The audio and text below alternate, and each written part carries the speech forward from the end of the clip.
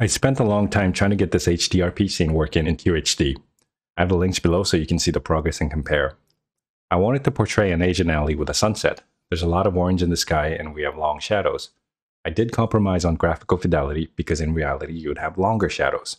But if I did, everything would be dimmer and I would need even more details in lighting, which is too costly in terms of performance.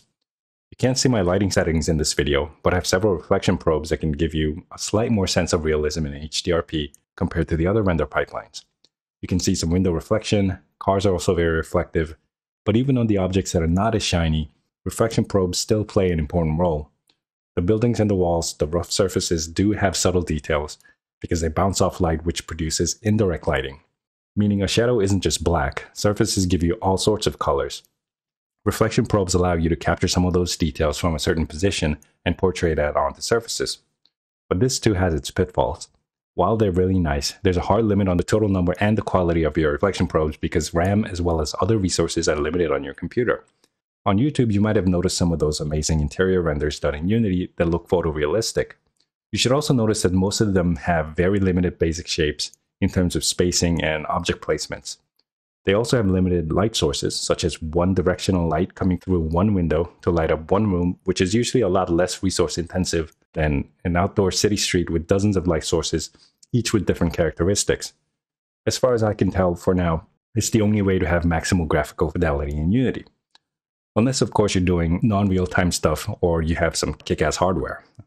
Speaking of which, I don't have real time ray tracing in this scene, I don't have the required GPU, but maybe later I'll buy one.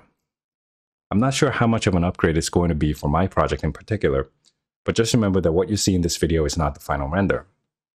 We also have the other character connected and running around. This will be a multiplayer game. It's the same low poly character model from last time. I'm going to have higher poly models later, so let me focus on the environment for this video because switching to HDRP from the universal render pipeline or the built-in render pipeline is not easy you have a lot more numbers and settings to deal with. A lot of the times you have to manually work on shaders, materials, textures. There is the upgrade button in Unity, which lets you automatically switch a lot of the materials. But in most cases, it's hardly enough to give you the graphical details, which is the sole reason why you want to use HDRP in the first place. Without manual upgrades in reflection, fog, density, shadows, post processing, it's probably difficult to get better graphics even with HDRP depending on your project, you might actually be better off with URP or the built in render pipeline because they're easier to work with. A lot of the Unity assets don't even support HDRP, and even when they do, it's rare that you'll see game ready assets. For example, I've seen some decent looking assets in the asset store, but one was a beautiful looking fridge in the corner that's barely visible. It had hundreds of thousands of vertices, dozens of 4K textures with no details that are used to simply show you some flat colors. They look good on thumbnails, but even the best gaming rigs will barely be able to handle horrible optimization like that. So you can't just buy assets and slap them on. You'd have to do a lot of work putting together different materials, shaders, textures, and models. For this project, I set up custom tools to automatically sort those assets, so I can customize them or put them together in ways that both minimize draw calls, but also make sense in terms of level design. Another giant issue when you're building an FPS game in HDRP is that in most cases, HDRP will only work with one active game camera.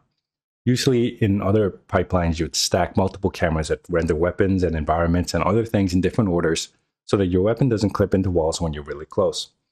The problem is in HDRP, performance and optimization become a very important issue because if you have multiple cameras with multiple rendering paths, with multiple post processing layers, with lots of shadow maps, it's mostly not going to run smoothly. Besides, I'm not even sure if camera stacking is supported in HDRP. My workaround for this is using a custom path to render the weapon in a different order so that even when you're just using one camera, you'll always see your own weapon. There's a lot more additional issues that I didn't mention. So while I want to say once you go HDRP, you can never go back, sometimes you do want to go back. Sometimes, depending on your project, you don't want to go HDRP at all. Personally, for me, I think the graphical upgrades offset the work that's required. You just got to be mindful of the new problems that don't exist in other render pipelines.